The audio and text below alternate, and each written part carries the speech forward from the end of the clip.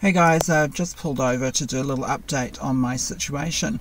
So, this bulge on my tummy is quite big. I do look pregnant. I look about four months pregnant. It's above the scar line from my after my colon revision surgery from SRS. At first, I thought it was swelling. It hasn't gone away it bulges out more when I'm doing physical work to the point that my boyfriend even said that looks really like it does look very noticeable. I've seen two specialists who are saying this looks like a hernia and I'm, I'm booked in for a CT scan to find out what this is. Um, last night I had a full-blown mental breakdown and literally threw shit around my room and smashed a mirror and my boyfriend was there and he was like, calm down. It's, a, you know, he was like, at least supporting. He was at least like supporting me, like didn't run off, you know, because I was going full on crazy. And I'm, I think it's a symptom of all the problems I've had for two years.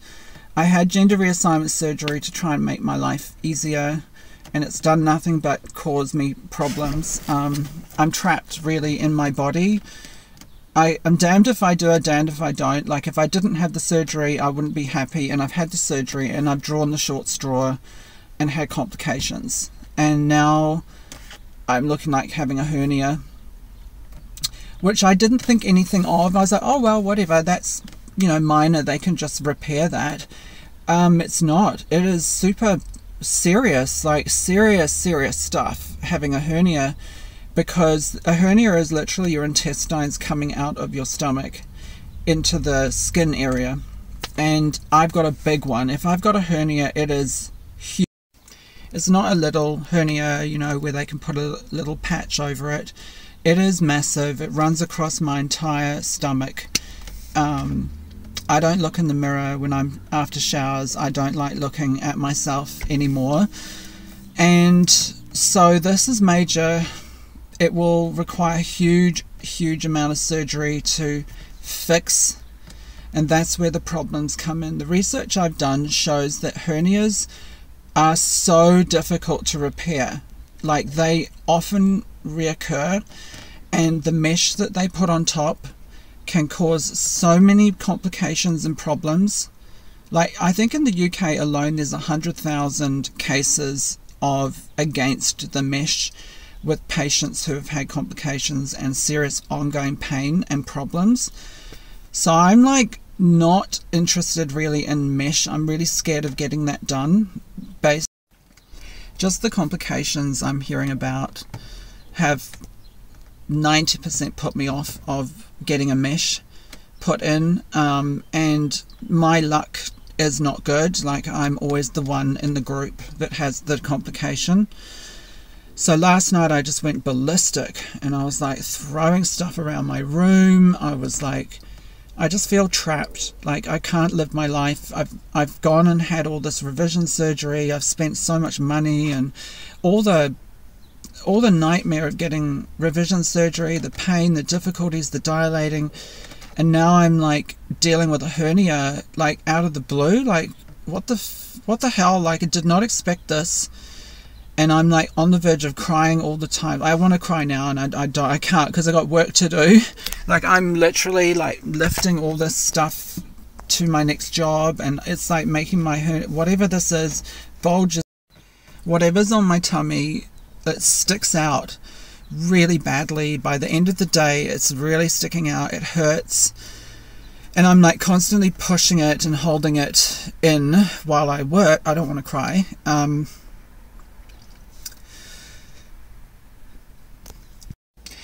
I'm really struggling um, because it's costing me a lot of money to fix all this. And going to Dr. Kamol and getting peritoneal pull through was the worst decision of my life.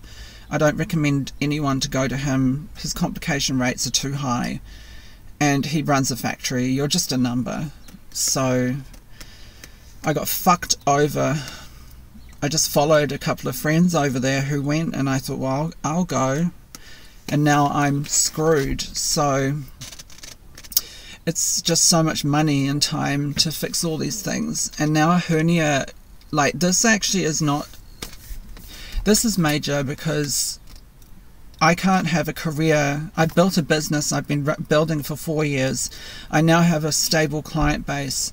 How can I do this business anymore? I can't lift stuff without potentially getting a hernias just reoccur over and over. The research I'm doing is that you've got a pretty much 100% chance of it coming back after surgery. And me lifting stuff with this giant hernia and mesh on my stomach and constantly using my abs, it's not going to work. Like, I can't do this. So I'm I'm waiting for my CT scan. If they say it's a hernia, it is actually game over for my business. I will have to sell it. I will have to move into a different career. Um, I left my job as a branding expert, six figure salary, running the branding for a big company. I left that to do my own business, and now I'm literally going to lose my business. Gone because of a hernia, of all things. My life is literally over, I think. Um, I don't know what. I don't know what I'm going to do. I can't I don't want to go back into my other job. I left that for a reason. I was burnt out and I can't do this job because it's physical. So what what am I going to do? Like I'm now a disabled person. I can't believe I'm in this position. I don't know why I've got a hernia. What is why? What caused this? Did, was the stitching just not done well enough after surgery? what happened? I don't know. And when I talk to these experts, they don't give me answers either. You know, I'm spending $300 a pop to see these experts, and it's a 15 minute meeting. They kind of just want you in and out of their office. I'm just being shunted around like I'm in a pinball machine now, and it's costing me so much money. Um, that's why I had my meltdown last night. I was like, I I haven't had sex coming up nearly two years. Um, I've had four orgasms in two years. My surgery has been nothing but a disaster.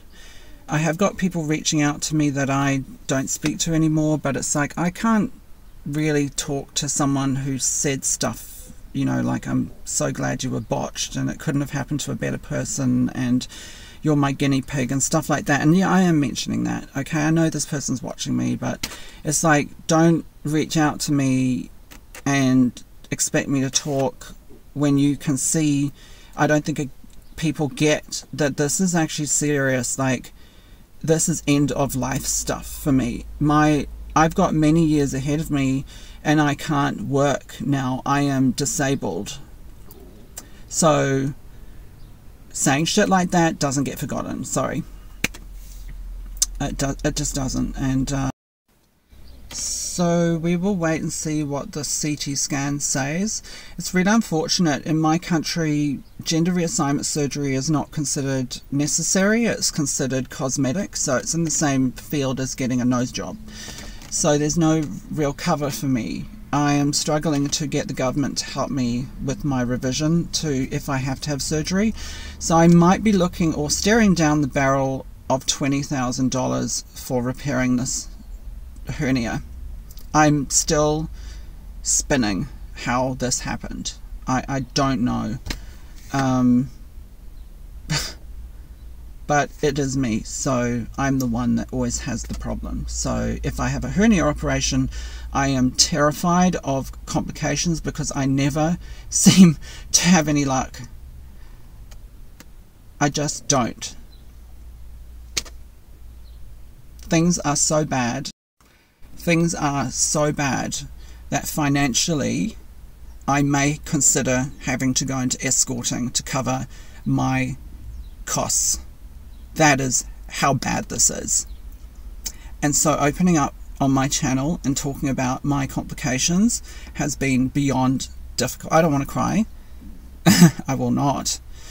But a strong woman who had a career and a business is literally going to have to lie on her back to pay for this shit. So when you go and watch Samantha Lux and Matilda Hogburn and Maya with all their bullshit glamorized videos, know that the reality of gender surgery can be this. okay? It can be life destroying. But what else are you supposed to do? I have to had to get the surgery, right? Anyway, I'm sorry video is not very positive, but I'll see you in my next one. Bye.